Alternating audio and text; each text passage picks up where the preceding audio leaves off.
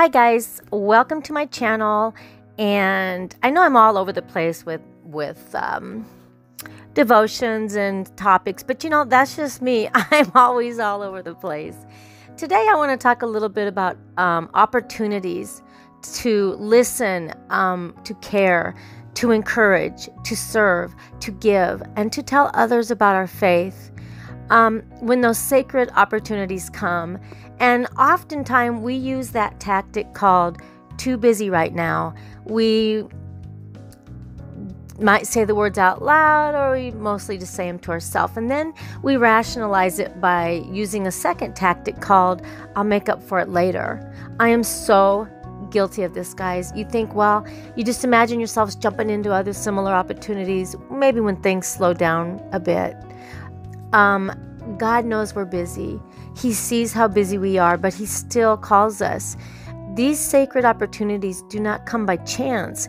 He places them carefully in front of us. He knows we're busy and He knows what He's doing.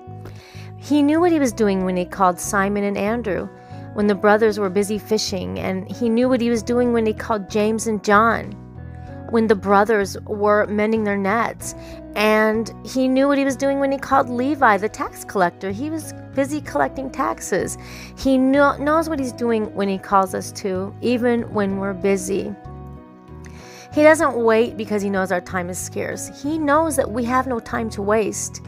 John chapter 9 verse 4 says that we must work the works of him who sent me while it is day.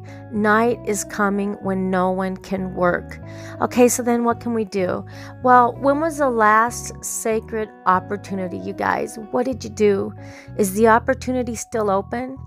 If not, take a moment to decide what you'll do the next time a sacred opportunity comes.